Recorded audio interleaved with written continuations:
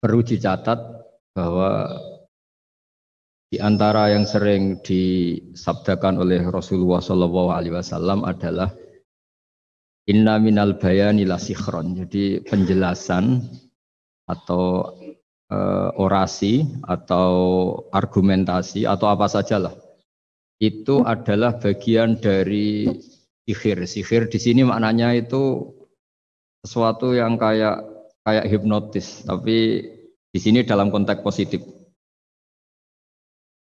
Dulu ketika periode Rasulullah Muhammad Shallallahu Alaihi Wasallam itu pertarungan hak dan batil itu diolah pikir, olah pikir yang diterjemahkan oleh artikulatif atau sistem verbal. Memang ini agak aneh, jadi kalau mukjizatnya Nabi Musa itu fisiknya melawan Fir'aun dengan kekuatan tongkat yang super dasar. Hingga Laut Merah dipukul sama tongkatnya Fir'aun, kemudian tongkatnya Nabi Musa, kemudian bisa membelah jadi jalan Fir'aun tenggelam. Begitu juga nabi-nabi yang lain ada kekuatan fisik yang bisa dilihat sebagai mukjizat. Tapi ketika Nabi Muhammad Shallallahu Alaihi Wasallam jadi nabi itu pertarungannya itu ke sistem rasional. Dan yang enggak rasional itu dijelaskan dengan satu penjelasan yang seakan-akan rasional. Ini yang agak jelimet. Hingga ada walatal bisul haqqon apa? Batil. Jangan menyampur adukkan hak dengan batil. Saya beberapa contoh kejadian. Suatu saat itu ada orang kafir datang ke Rasulullah Shallallahu Alaihi Wasallam. Kemudian bertanya, ya Muhammad, jika kambing itu mati, mati-mati betul yang tidak disembelih, bangkel. Itu yang mematikan siapa? Karena Nabi itu orangnya umi, umi itu lugu, ya yang mematikan Allah. Terus jawabannya si orang kafir tadi, agama kami itu aneh. Yang dimatikan Allah langsung haram, tapi yang lewat tangan-tangan manusia yang berlumuran dosa halal katanya. Jika terus jadi logika yang kok iya ya gitu. Harusnya yang dimatikan Allah langsung kan orisinil gitu. Sehingga orang terus terbelalak, seakan-akan ini hebat. Ya. Dan resikonya Nabi Habib Fikri, resikonya itu nggak boleh fahisan mutafahisan. Dorong Jawa Nabi ora oleh cangkem elek, itu resiko. Andai kan Nabi boleh cangkem elek enak, nak halal ya pangan kon. Kalau itu baik ya silahkan makan ya. Tapi masalahnya Nabi tidak boleh seperti itu. Andai kan tidak Nabi kan gampang ya sudah kalau halal ya silahkan makan. Masalahnya Nabi tidak boleh apa? Tidak eh, boleh berbicara kasar, tidak boleh berbicara buruk. Terus ada lagi beberapa kejadian yang seperti itu, yaitu masyur suatu saat Sayyidina Ali didatangi seorang kafir juga Yahudi, Ali, kakimu angkat satu, diangkat sama Sayyidina Ali. Angkat dua-duanya, ya udah bisa. Itu kok temanmu, maksudnya Nabi Muhammad mengklaim bisa naik langit, gitu aja kamu tidak bisa. Jadi selalu pakai olah kata. Yang ketiga misalnya eh, Muhammad kita-kita ini punya urusan banyak, punya problem banyak. Dan Tuhan itu dianggap penyelesai problem, halul muskilat. Yang bisa menyelesaikan problem. Pertanyaannya, kalau problem kita banyak, Tuhannya satu tidak cukup Muhammad. Kalau problemnya banyak, ya Tuhannya harus banyak. Hingga ketika Nabi membawa tauhid, protes mereka, komplain mereka, aja alal alihata ilahau wahida innaha adalah syai'un masa Tuhan satu wong problemnya banyak urusannya banyak kalau urusannya banyak itu hanya harus Nah karena olah pikiran seperti ini, sebetulnya bukan olah pikiran ini, hakikatnya olah kata, karena ini tidak mewakili hakikat. Ya saya ulang lagi, sebetulnya ini bukan olah pikiran atau olah akal atau olah kecerdasan, tapi olah kata karena semua yang diomongkan ini tidak mewakili apa? Hakikat. Tapi faktanya itu terjadi. Sehingga mukjizatnya Rasulullah Shallallahu Alaihi Wasallam itu tidak boleh berupa fisik kayak tongkatnya Nabi Musa atau tabutnya Nabi Harun atau apalah yang sifatnya fisik. Karena ini tidak menjawab kecerdasan-kecerdasan yang terimplementasi oleh kata-kata yang dikatakan orang-orang kafir tadi, yang bisa memojokkan orang-orang kafir. Akhirnya Nabi diwarisi kecerdasan, dikasih kecerdasan oleh Allah Ta'ala, yaitu yang dikatakan fatona. Dan mereka memang suka, mempermalukan Nabi itu suka. Misalnya Nabi karena sebagai Nabi beliau tahu betul bahwa semua itu biadillah di tangan Allah. Itu Nabi pernah ngendikan la adwa wala tiarota, tidak ada penyakit menular. Lalu ada orang Yahudi atau orang siapa saja, orang bodoh lah yang jelas ini. Ada onta yang kena penyakit gudik, kalau orang Jawa bilang gudik apa? Kalau orang eh, apa? Kudis ini. Yang kena kudis ini dijejerkan sama yang waras. Ternyata yang waras sekarang jadi kudisan. Menang mereka karena bisa mempermalukan Nabi. Ya Muhammad, ini unta kena kudis. Ternyata yang waras tertular oleh yang kena kudis. Padahal kata kamu tidak ada penyakit apa? menular. Itu problem-problem jadi nabi di era Rasulullah Shallallahu Alaihi Wasallam. Sehingga Quran datang dengan kecerdasan yang untuk menjawab itu. Hanya Nabi tidak pakai mukjizat fisik, tapi mukjizat logika. Akhirnya Nabi diajarin Allah lewat Jibril. Yang dikira mereka yakin kalau menang dalam debat. Tapi Nabi balik bertanya, Faman a'dal awala. Jadi terjemahnya, kalau ini kena kudis karena tertular yang ini, lalu ini tertular siapa? Yang pertama tadi. Wah itu asli mat dari Allah ya maksud saya itu.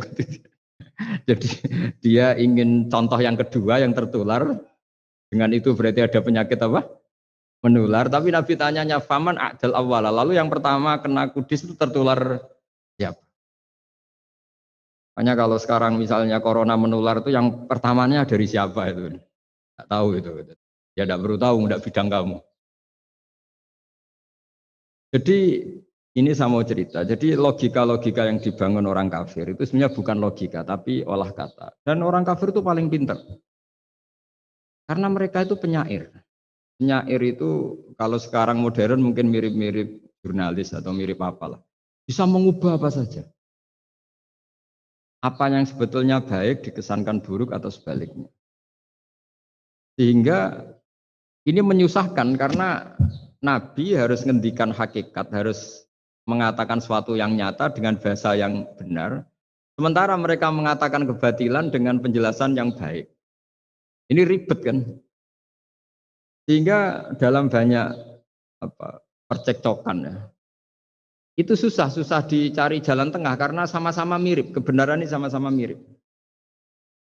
Jadi misalnya yang masyur dalam satu peristiwa besar, konflik antara Sayyidina Ali dan Sayyidina Muawiyah.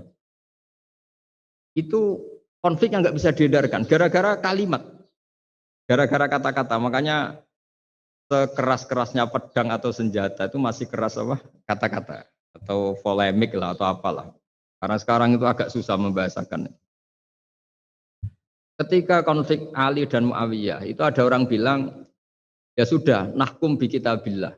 Sudah sekarang kita kembali ke kitabillah. Itu mereka megang mushaf. Mushaf ini yang saya pegang namanya mushaf. Akan-akan itu benar karena orang Islam harus kembali kepada kitabullah. Pertanyaannya lalu Ali kata Ali Fadorobal mushafa biyadihi. Sayyidina Ali nepuk mushaf ini keras sekali. Al hadal mushaf kata Sayyidina. Kalau kita harus kembali ke Quran, coba tanya ini. Mushaf ini ya mushaf seperti milik saya ini. Akhirnya orang-orang khawarid bilang Innama huwa warokun wa madadun itu hanya kertas sama tulisan. Bagaimana mungkin kita bertanya? Pas itu adalah orang khawarid itu orang yang nggak mau ngakui Ali juga nggak mau ngakui Muawiyah dan Sayyidina Ali sama Sayyidina Muawiyah sudah sadar mau bikin mediator, mau bikin solusi jalan tengah. Jadi sebenarnya dua beliau itu orang baik. Gara-gara diprovokasi orang khawarid jadi bentrok. Orang Khawarij bilang, nggak ada Ali, nggak ada Muawiyah, yang ada adalah kitabullah, yaitu mushaf. Benar, secara dohir benar, memang orang Islam harus kembali ke mushaf. Tapi saya Ali pinter, tal hadal mushaf. Kalau gitu, tanyakan mushaf itu. Ketika Sayyidina Ali dan Sayyidina Muawiyah sudah sepakat bikin perdamaian. Akhirnya singkat cerita, Inama huwa rokun wawadadun, kata orang-orang Khawarij, itu hanya kertas dan pena. Kenapa bisa di apa di disuruh atau diminta jawaban. Terus kata Sidina Ali, nggak bisa toh kamu tanya Musab, ya tidak bisa. Makanya tanya saya katanya. Akhirnya Sidina Ali memberi penjelasan, wa in khiftum shiqaqa bainihima fab'asu hakamam min ahli wa hakamam min ahliha. Jika dua mempelai suami istri itu mengalami konflik, di mana-mana orang konflik orang ini serasa seneng nek. Kita kalau sedang marah, semuanya lah kalau sedang marah sama istri itu orang ini serasa seneng. Di sing ganteng kira ketok gantengnya, ketok elek etok. Sehingga kalau ngomongnya anaknya, uh, dasar nakal kok bapak gitu. Bapak ya gitu, nanti uh, dasar cerewet kok ibu Makanya alhamdulillah banyak anak kita yang mewarisi nakalnya bapaknya dan nakalnya ibunya. Karena sabdonya mesti seperti itu. Jadi anak kita ini korban cara ngomong kita. Maka kita tidak wali itu harus syukur karena omongannya nggak mandi. Itu kalau kita wali, itu anak kita jadi orang buruk semua. Karena kita ngomong dasar goblok kayak ibu e. Dari ibu e dasar nakal kayak bapak e. Berarti anak kita punya status goblok dan nakal. Tapi alhamdulillah yang ngomong itu tidak wali sehingga diabaikan saja sama Allah. Gak penting. Ngomongannya orang tidak wali itu tidak penting. Makanya tidak wali itu tetap punya sisi positif. Kalau ngomong tidak ngefek. Tapi kalau wali itu direspon sama Allah. Langsung ya. Tapi kalau wali ya tidak ngomong gitu. Tapi. Jadi kalau orang nggak suka itu nggak boleh ketemu. Karena tambah benci. Jika butuh mediator. Itu sudah, ini termasuk ilmu psikologi Quran. Kalau orang sedang tidak cocok itu nggak boleh ketemu. Pakai apa? Mediator.